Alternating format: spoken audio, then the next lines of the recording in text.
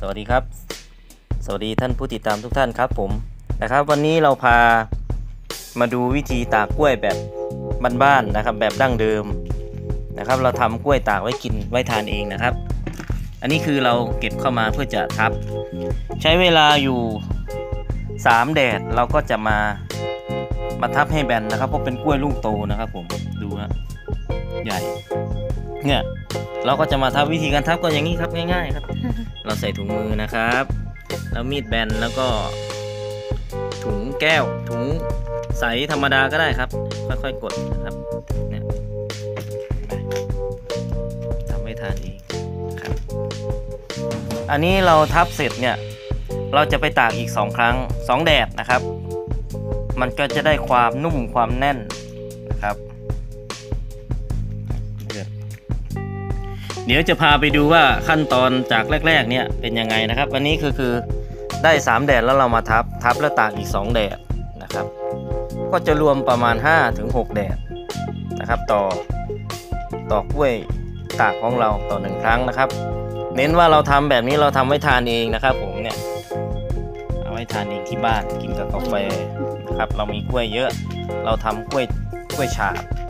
ทำไม่ทันเราก็บ่มให้สุก แล้วเรากำลังทำสวนกล้วยด้วยนะครับ มันก็เลยเราก็มีแผนแผนว่าที่จะทำผลิตภัณฑ์กล้วยตากเนี่ยสู่ตลาดนะครับ เราตั้งใจจะทำอยู่แล้วนะครับ แต่ว่าตู้อบเราจะต้องมีนะครับเพื่อกันฝุ่นนะครับให้ให้ดีกว่านี้นะครับ ตอนนี้คือนำร่องการทำแบบธรรมชาติก่อนนะครับ แต่ว่าทุ่งนาของแอดมินไม่มีฝุ่นนะครับ อยู่ห่างไกลถนนนะครับผม เดี๋ยวเราไปดู ตรงที่ตากแดดอยู่นะครับ ว่ามีขั้นตอนยังไงครับ ตามมาเลย นี่มาดูพื้นที่นะครับ นี่แดดจ้าเลยอะมาดูตรงนี้ครับ อันนี้เราใช้ตะแกรงมุ้งลวดที่เป็นอลูมิเนียมนะครับนะครับ เป็นมุ้งลวด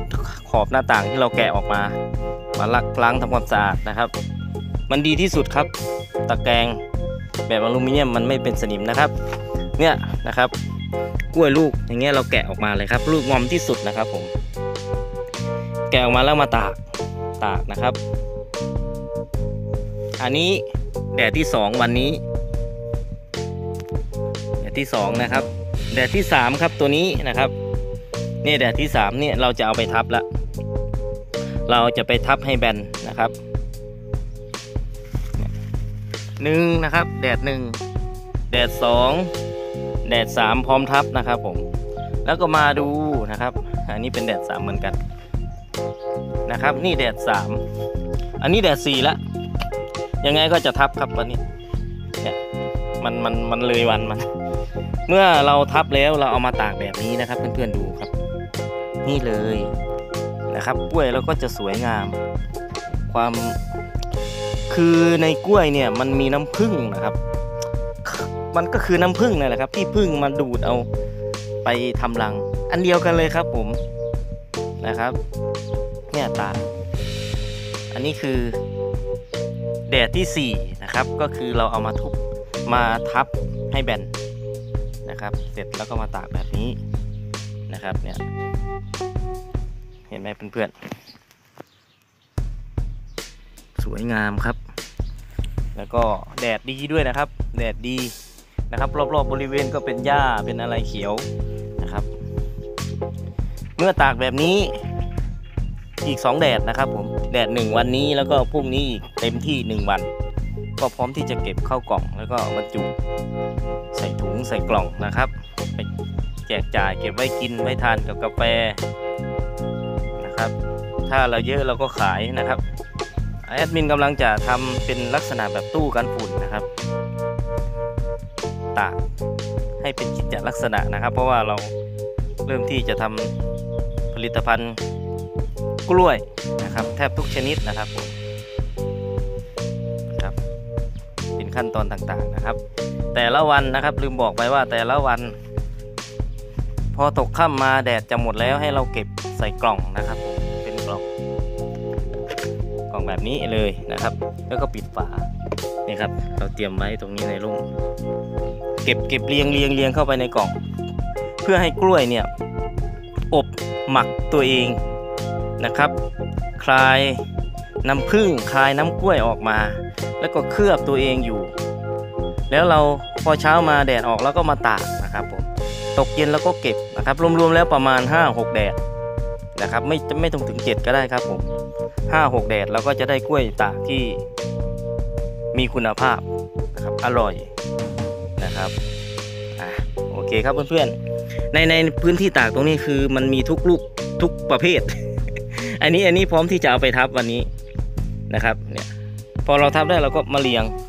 เรียงไปด้วยเลยนะครับเนี่ยพื้นที่เราเหลือไว้นะครับ วัสดุที่ตากก็ควรจะเป็นตะแกรงมุ้งลวดอลูมิเนียมนะครับ เหมาะที่สุด นะครับ แล้วก็เป็นอ่าตะข่ายอย่างนี้ก็ได้ครับผมเนี่ยอย่างนี้ก็ได้ตึงดีๆนะครับ ไม่ควรที่จะเอาที่จะเป็นเหล็กนะครับ มันจะเป็นสนิมนะครับ อันนี้เป็นอันนี้เป็นตะแกรงตะข่ายพลาสติกนะครับได้อยู่สีดำส่วนกระด้งไม่ได้ครับผม กระด้งทำให้กล้วยเสียพื้นผิวนะครับอ่าโอเคครับเพื่อนๆเดี๋ยวเราเข้าไปดูข้างในอีกทีหนึ่งครับ อ่าเรากลับมาตรงนี้แล้วอันนี้เราโอ้โหหน้ามืดเลยเมื่อกี้ออกไปเนี่ยนะครับ ไม่รู้ว่าแสงสะท้อนทำให้สีสวยหรือเปล่า แต่มุตากอีกสองครั้งก็จะเป็นสีออกแดงๆนะครับ เดี๋ยวนี้หอมหอมกลิ่นน้ำผึ้งตลบอบอวนเลยครับ ตอนนี้นี่ลูกใหญ่มากเลยเขาขาย ผมเคยซื้อมากินนะครับ ลูกละห้าบาท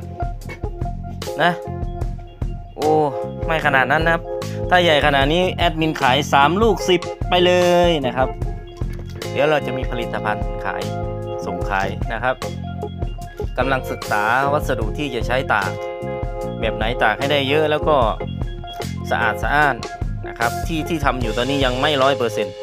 นะครับก็เน้นเรื่องเอาไว้ไว้ทาน แต่ว่าเราไว้ทานเนี่ยเราก็ต้องทำให้สะอาดอยู่แล้วครับ เพื่อสุขภาพของเรานะครับ